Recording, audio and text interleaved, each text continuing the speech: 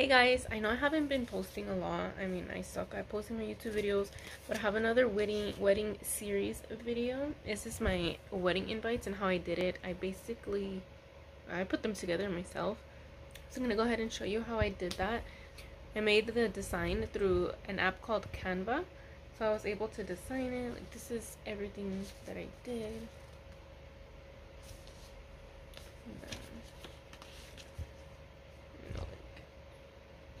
And then back here is like the wedding website.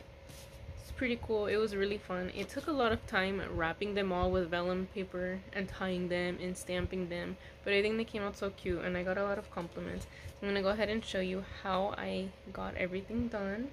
And i'll go ahead and link in the description where i bought things what app i used and all of that so if you are interested stay tuned the wedding's getting close we have like four weeks now. Sorry, excuse my hair. It's late at night.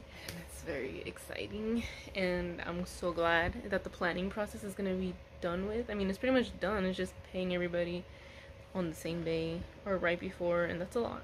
But uh, it's going to be fun. And then we get to go on our honeymoon. That's going to be so fun. We're going to Disney World and probably Universal Florida. If not, we'll just go ahead and see the areas of Orlando or around the area. I'm not sure yet. But yeah, I can't wait. So we went ahead and printed the envelopes using a Cricut. So we found a template that we liked through their app. And then you just write in the name or whatever you wanted to say. H is going to be our last name. So we went with that. We also used the Cricut to go ahead and write all the addresses for the envelopes that we had to send out. So I wrapped them in vellum wrapper and I used this twine or yarn and I did a little wax seal stamp that I used a glue stick for.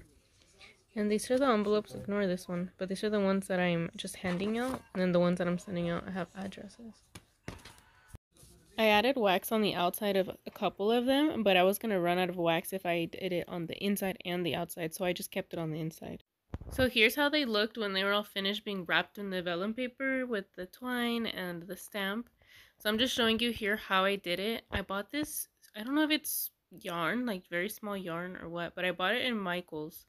And then I got this hot glue gun from uh, Amazon. It's not a mini glue gun, it was a large one because I had bought some wax sticks from Amazon and they were huge. I've never seen wax sticks that huge. Or I mean, like, because it was for a glue gun. I've never seen glue sticks that big. Um, so I ended up having to buy a new glue gun so I could use the regular size wax stick since I only had a mini glue gun. Um, but it helped so much because the other ways you could melt the sticks is there's some wax sticks that have a candle wick and you light it, but it's so slow to drip. Or you can also put in like a little bowl with a candle underneath, but that just takes forever when you're making so many invitations. So the glue gun, I definitely recommend. So here I'm just wrapping the, the yarn around about twice and then trying to hold it in place so that I can go ahead and put that seal on and the yarn will stay nice and tight.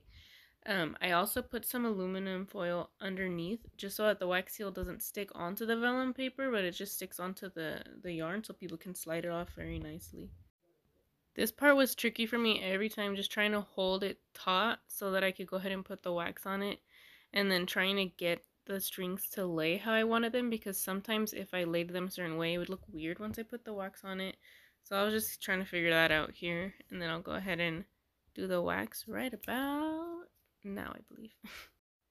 I forgot to show you guys the stamp that I used, but it's just one that I got from my sister-in-law. So we're all going to have the same last name. So it has the H on it. She let me borrow it. So what I did was I stuck it in the freezer so it could chill. That way it would come off the wax very easily. When I wasn't putting it in the freezer, I was also putting it in a bowl of ice. That helped also. It's just the ice melts pretty quickly. So, you know, you just do what works best. And this wax stamp was on the smaller side. I noticed a lot of the ones I was looking at were a lot bigger, which is kind of the look I was going for. But then I figured this will be easier. One, it's free. And two, I won't have to use as much wax for it since it's a smaller stamp. So here I'm just going to show you how they looked once you remove the aluminum paper, which I mean I showed you in the beginning of the video. That's what they look like. I originally was talking in the original video, but I was talking very quietly, so I figured I would just do a voiceover just so you guys can hear me for sure. And here's a close-up of the envelopes and how they turned out. I think they turned out really nice. I had a couple people asking, like, did you do this by hand? And I was like, no. Um, but the ones for the address, that actually looked like real writing. It was really pretty. I didn't get those obviously because it's people's address. So here's the invitation. Again, I'm covering the um, the locations. I'll go ahead and try and insert a picture of the invitation without the location, you know, just so you can see it because I think it's so pretty. So the quality looks a little bad through the camera, but this is how it looks like. I put the little border, the eucalyptus leaves, and an anemone flower. And on the back, I added another flower, and I added our wedding website to the back of the card. I'm not sure if everyone's gonna know that it's here. They're probably gonna think this is just the website I made the card on, because some people are like, oh, I didn't know there was a website. And I was like, yeah, I probably should have been like registry or something. But that's the end of the video. Apparently I didn't film anymore. So I'm just going to go ahead and end it there. I hope you guys enjoyed. And I'll go ahead and make sure that I put everything down in the description from like where I bought things, what I used. If I can find it still, you know, I'll check. Um, yeah, I think I think that's all I needed to say. I might post a bridal shower video very soon. I'm also going to have my bachelorette in a couple weeks, so we'll see if I get any footage from that or if I post or whatever. You guys can go ahead and follow me on TikTok, Instagram, because I post a lot there. I, I mean, I try to at least.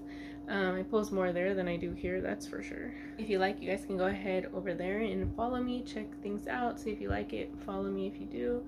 Um, and don't forget to subscribe and like this video. Comment down below what you'd like to see next.